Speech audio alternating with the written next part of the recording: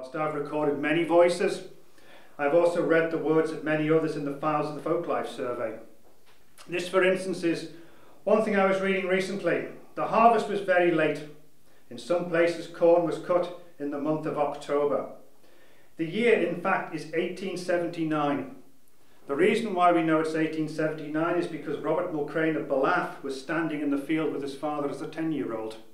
This is the sort of memories that stretch back in the island through the Manx Museum Folklife Survey, through the other people who have gone and asked the previous people of the days past. John Kneen the Gow, the sort of the pin-up of the Manx language uh, revival, John John Gow dictated his memories to his daughter in 1948. This is a man who was born in 1860. These are the sort of voices, the Manx voices that we have access to in this particular island. A man born before the American Civil War broke out. Incredible. And we have in the Folklife Survey an ethnographic archive that stands as an achievement along the lines of the Irish Folklore Commission and the School of Scottish Studies. Leslie Quirk, who was one of the field workers for the Folklife Survey, was actually trained by the Irish Folklore Commission. The Irish Folklore Commission visited the Isle of Man. Their first sound recordings done were of the last native speakers of Manx.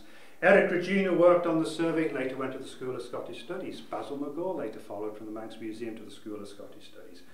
But this archive is little known, it's little used, and there are so many Manx voices in there that need to be heard again. It is thanks to Leslie Quirk, whose name I see on here, Walter Clark as well, many others, Eric Cregeen and many others, and especially Grace Mary Quilliam as a field worker and organisational ex figure extraordinaire of the Folklife Survey that we have this, this particular archive. Just this week I was, I was reading the early correspondence of the Folklife Survey and I came across this letter written by Grace Mary Quilliam to the Gow's daughter, Millie, Millie Kneen. This is from 1948.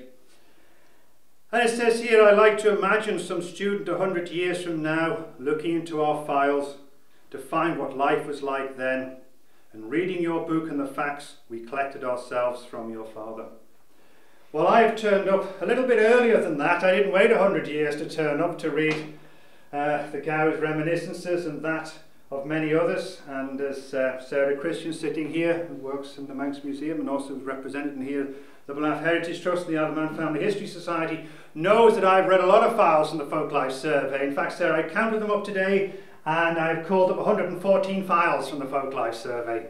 And there's always one more file to read, there's always one more item to call up from the Folklife Survey. It is an absolutely remarkable archive